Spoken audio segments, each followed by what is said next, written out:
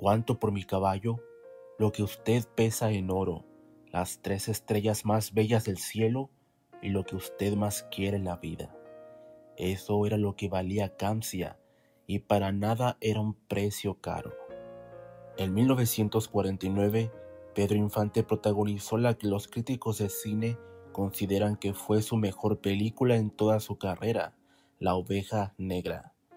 Una película donde el sinaloense se enfrentó en un mano a mano con el que era conocido como el mejor actor de América, Fernando Soler.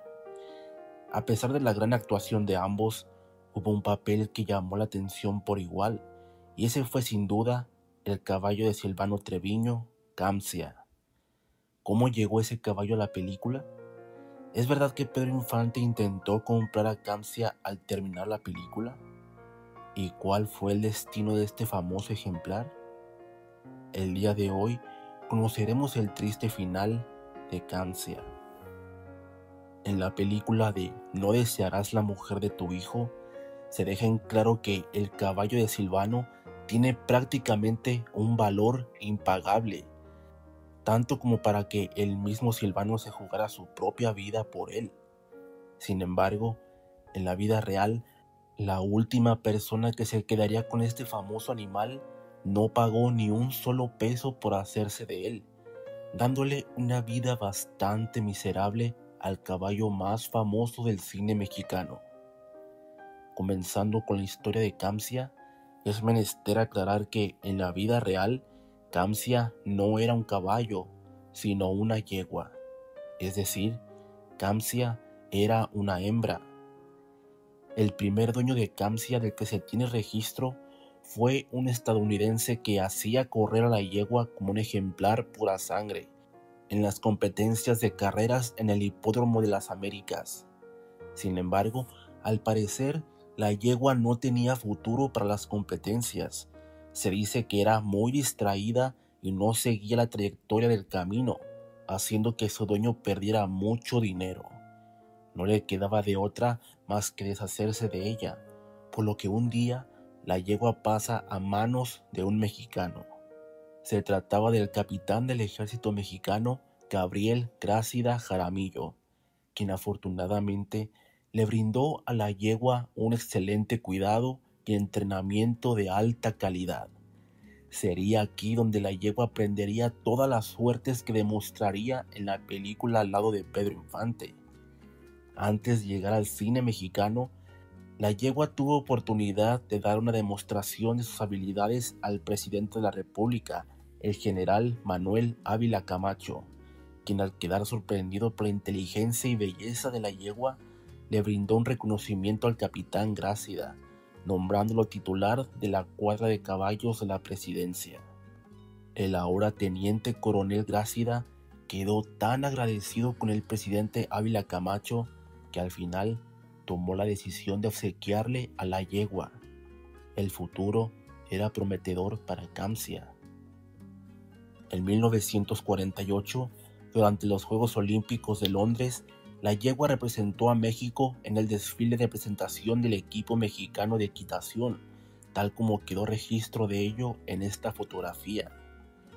Tras su viaje por Europa, la yegua regresó a México, y a pesar de que ahora era propiedad del presidente de la República, el teniente Gabriel Grácida seguía entrenando a la yegua y estrechando su amistad con ella.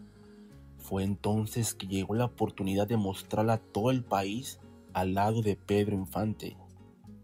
En ambas cintas, la famosa yegua demostró la calidad del entrenamiento que se le daba a los caballos por parte del ejército mexicano, pues Camcia hizo todo tipo de suertes además de bailar, contar y actuar.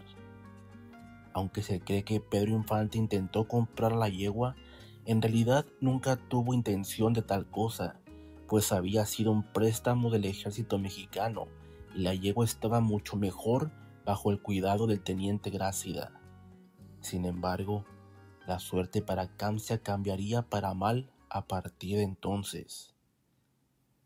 Para 1951, Camcia fue llevada a Buenos Aires, Argentina, donde realizaría demostraciones durante los Juegos Panamericanos que se realizaban en dicho país. Nadie sospechaba que el destino dictaba que Camcia ya no regresaría a México. Al igual que ocurría siempre, en esta ocasión la yegua logró asombrar a Eva Perón, esposa del presidente de Argentina, Juan Domingo Perón. Tal fue el asombro de ella que le pidió a su esposo que hiciera lo posible por comprar a la yegua. En este punto, existen muchas versiones que difieren solamente en los nombres de los involucrados, pero la versión más plausible es la siguiente. El presidente de Argentina, decidido a cumplir el capricho de su esposa, se acercaría al teniente Grácida para hacerle la propuesta de compra de la yegua. Tal situación tomó por sorpresa al teniente, quien al tenerle ya un gran cariño a la yegua, rechazó la oferta de compra del presidente, lo cual no lo tomó a bien, ni mucho menos su esposa. Días después, por iniciativa de su esposa, el presidente de Argentina llamó por teléfono al presidente de México, Miguel Alemán, comunicándole la situación y el deseo de comprar dicha yegua para su esposa, refiriendo que su entrenador se negaba a venderla.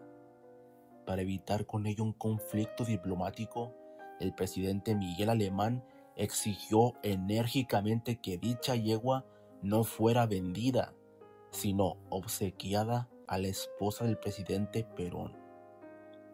Era más importante mantener la amistad con el gobierno argentino que causar un conflicto por una yegua. Así que el teniente no tuvo de otra que despedirse de su querida yegua. Se dice que todo el equipo mexicano de equitación, al regresar a México, se les veía la tristeza en la cara, pues todos le tenían un gran aprecio a dicha yegua. No obstante, el teniente vivió una tristeza tal que a pesar de nunca tomar alcohol, se ahogó en la bebida durante tres días para superar la pérdida de su querida yegua. Una vez en posesión de la pareja presidencial, lamentablemente cuatro años después, el presidente Perón sería derrocado del gobierno por un grupo de militares quienes se encargaron de destruir todas las posesiones del presidente. Una vez que los militares descubrieron entre dichas pertenencias a los caballos del expresidente Perón, dichos animales fueron asesinados. Entre ellos se encontraba Cancia.